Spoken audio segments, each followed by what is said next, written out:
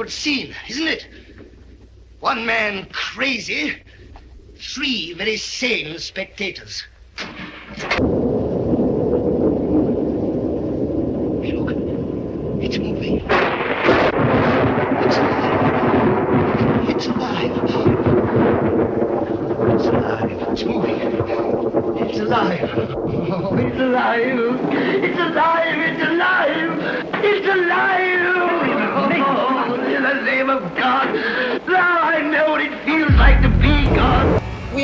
Witnessing the birth of a robot. Believe it or not, this piece of white plastic will become a robot's arm. In labs across the world, we are creating advanced robots like this. They are developing so rapidly. It's like the arrival of a new species. What has taken humans millennia, robots have achieved in just decades. They look like us, My name is Erica. move like us, And now, they're beginning to think like us. We are going to become gods. Period. If you don't like it, get off. You don't have to contribute. You don't have to participate. But if you're going to interfere with me becoming God, you're going to have big trouble. Then we'll have warfare. If you kill me, I'll kill you.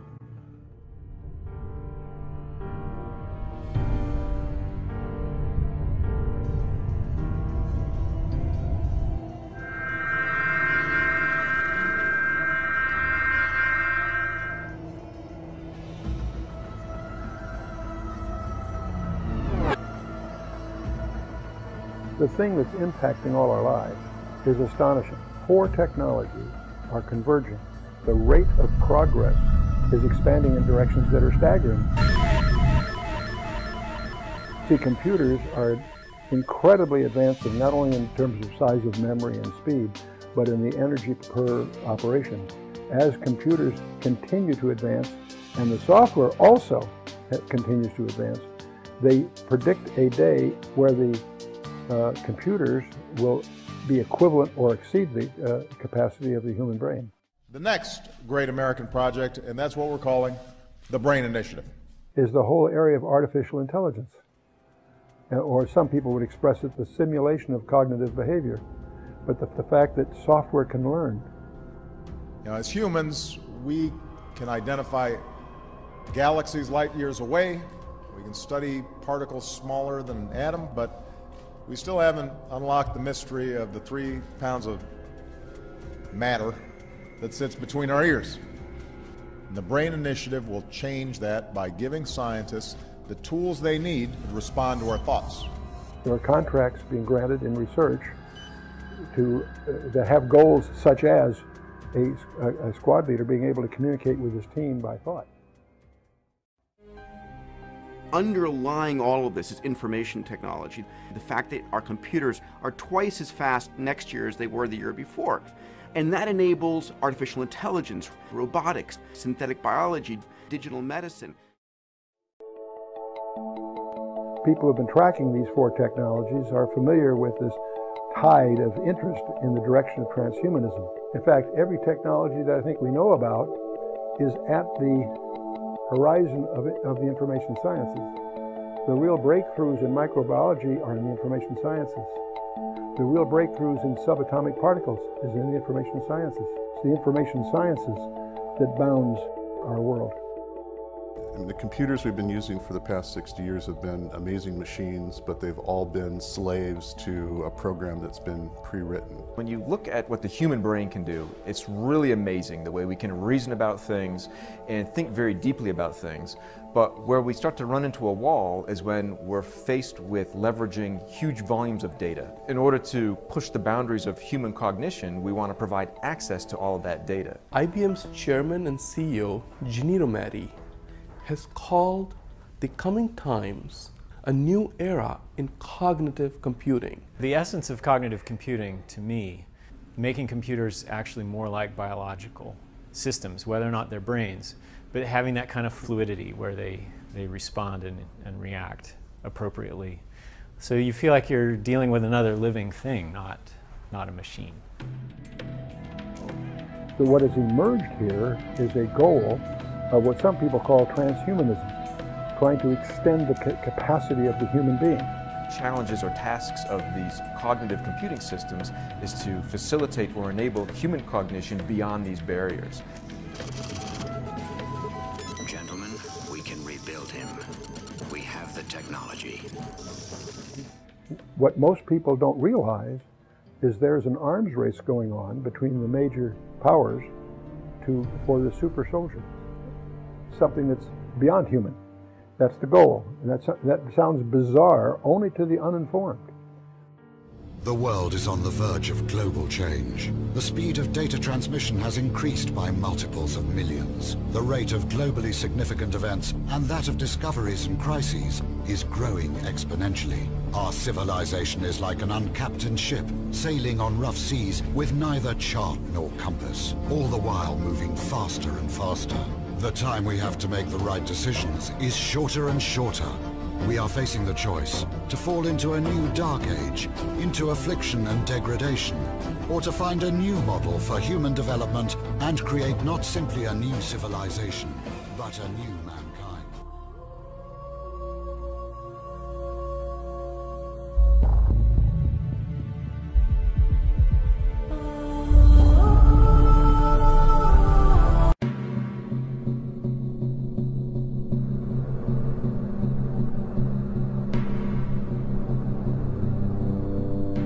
Throughout the course of history, there have been periods when mankind made rapid advances. And then there are those other, much more numerous times that remain rather unnoticed as transitory periods. Now, at the dawn of the third millennium, how will this age be judged by posterity? And more importantly, what form will that posterity take?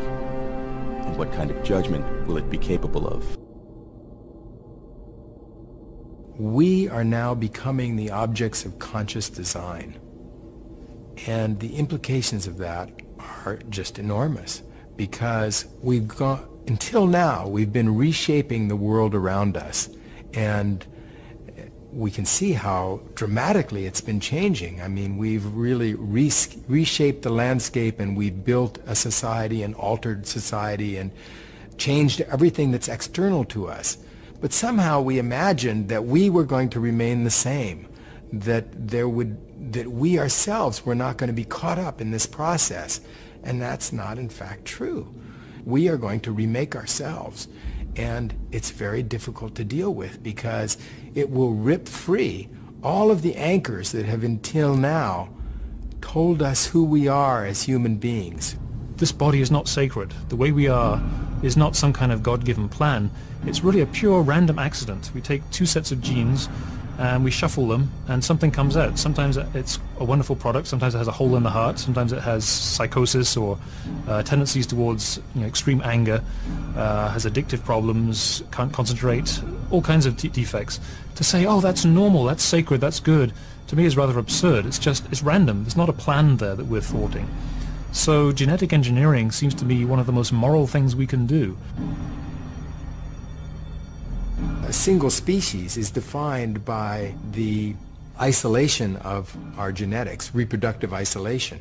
But when you begin to take genes from different species to mix together all of the genetics that is available among all animals, and also to design new alterations to the genetics, well, reproductive isolation really doesn't have much meaning anymore.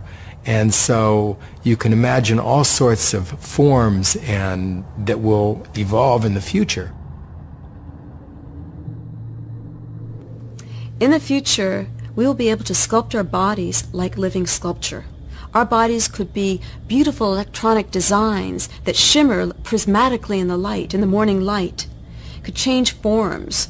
It could become a piece of marble on one hand and then totally mutate into some fluid type of luminescent snake-like quality. After all, the body is an extension of fashion.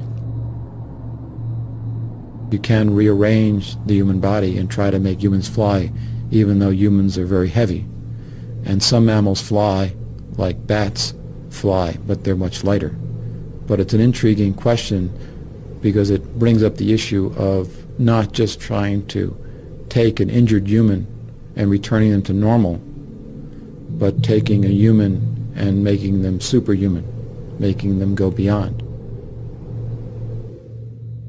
Our future is not to try and hold back genetic engineering, but to try and use it in a way that best serves us. If we can, if our children can be more intelligent and healthier and live longer lives through altering our genetics, why would we not want to do it? I mean, imagine if other children could live for two centuries and if you could only live for 80 years because your parents believed that it was improper to tamper with human genetics. You would not be pleased with that decision. The same thing if your IQ were a normal IQ and all of your classmates were much, much brighter because there had been sort of some biological or genetic manipulation that was possible you'd feel very angry about this. The world is on the verge of global change. The speed of data transmission has increased by multiples of millions. The rate of globally significant events and that of discoveries and crises is growing exponentially. Our civilization is like an uncaptained ship sailing on rough seas with neither chart nor compass, all the while moving faster and faster. The time we have to make the right decisions is shorter and shorter we are facing the choice to fall into a new dark age, into affliction and degradation, or to find a new model for human development and create not simply a new civilization, but a new mankind. We are shifting to a transhuman base. We've come out of a humanist time, and now we're redefining what it is to be human. Whether we like it or not, we're becoming cyborgs. We're becoming transhumans. We have the opportunity now to try to do things uh, better uh, than uh, nature has done. Why not have a stronger arm than we have? Uh, you know, why not be able to run faster? Why not be able to have uh, tougher skins? If you're going to replace your eye for vision, uh, why limit it to visual? Why not give it the kind of vision a bat has? Give it ultrasound. Could you imagine a Versace body design? Can you imagine a Terry Mugler body design? These individuals, the late Versace was an incredible designer. What if he was a transhuman? What if he was an artist who really wanted to combine art and science? I bet his designs for a future body would be astounding. We really, really do want to violate human limits now, and we're getting closer and closer to the ability to do it. It's what we want. Plans to allow scientists to create embryos that are part human and part animal are set for approval by the official regulator in Britain. These hybrid embryos are seen by the country's leading scientists as a vital step in the search for cures for diseases such as Parkinson's and Alzheimer's. You could design your baby's features, would you? According to LA's Fertility Institute, prospective parents can select eye color, hair color, and more. The technology is called pre-implantation genetic diagnosis, or PGD. It was created to screen for disease, then used for gender selection. Now this clinic plans to allow parents to select physical traits. I would predict that by next year we will have determined sex with 100% certainty on a baby, and we will have determined eye color with about an 80% accuracy rate. Dr. Jeffrey Steinberg is a pioneer in in vitro fertilization. I think it's very important that we not bury our heads in the sand and pretend that these advances aren't happening. Kirsten and Matt Landon used his clinic to select the sex of their daughter. Choosing other genetic traits intrigues them. Oh, yeah. A recent U.S. survey suggests most people support the notion of building a better baby when it comes to eliminating serious diseases. But Dr. Steinberg says using technology for cosmetic reasons shouldn't scare people away. Of course, once I've got this science, am I not to provide this to my patients? I'm a physician. I want to provide everything science gives me to my patients.